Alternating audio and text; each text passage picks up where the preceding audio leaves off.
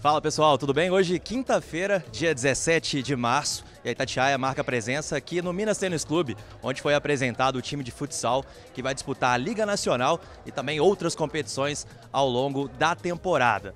Eu conversei com o técnico Peri Fuentes, ele falou sobre esses jovens que têm a missão de defender a camisa Minas Tenista e também com ele, Marx, que é o ídolo da torcida do Atlético em campo e hoje ocupa a função de diretor da equipe de futsal do Minas. Vamos ver um pouquinho do que aconteceu aqui na sede na Rua da Bahia. Olha aí.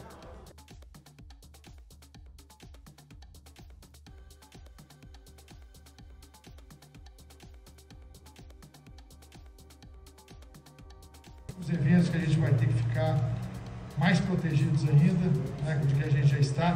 Né, a gente já está passando uma pandemia para uma endemia. Dentro em breve, eu acho que nós vamos voltar à normalidade. Né. Essa apresentação já é um indício que estamos voltando e voltando com a força total. É um desafio maior, né, mas é um isso está no DNA do Minas, né? Essa questão de base, né, formação, e é uma turma muito qualificada, né, de muita qualidade e que em alguns casos até a gente precisa acelerar um pouco esse processo né, de amadurecimento, mas é um, é um trabalho muito desafiador, porém muito prazeroso também. Né? A gente tem conseguiu alguns atletas também é, mais experientes para conseguir uma mescla e, mas a, a, a, vocês viram, a base é bem jovem, né? Ah, momento maravilhoso, né? Eu, eu pertenço ao Minas, na verdade, desde quando cheguei aqui em Belo Horizonte, né? desde os anos do início dos anos 2000, né? E como eh, eu tenho falado, eu recebi um convite que eu achei fora do normal, né? De um senhor, né, que estava nesse posto há quase 30 anos, né, o Dr. Sérgio, né, à frente do futsal. E na verdade eu me senti assim convocado para assumir a função, né? E desde então tenho recebido muito apoio, muito suporte, não só do Taveira, que está aí no clube há muito tempo, como da comissão técnica, de todo mundo que faz o Minas, né? do presidente também, o respaldo, né? É, do nosso vice-presidente, o Carlos Chagas também, enfim, tem sido maravilhoso, tem sido um aprendizado.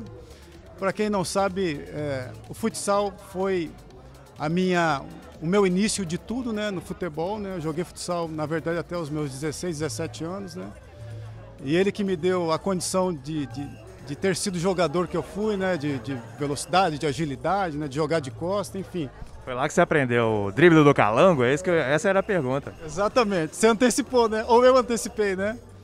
E, e o futsal me deu toda essa condição, né? E hoje me vejo é, na obrigação de, de alguma forma, retribuir esse grande clube, ao convite que eu recebi, né, trabalhando e dividindo experiência com todos aqui dentro do clube. É uma equipe muito jovem, né? A média 19,6 anos para entrar numa liga nacional. Você já foi jovem um dia, não estou te chamando de velho não, tá? Você já foi mais jovem um dia e teve que começar. Qual que é a importância de começar tão cedo para essa molecada que vai disputar uma liga nacional? Primeiro, o Minas não foge das suas origens, né? Que é trabalhar forte na sua base, né, na formação. Né?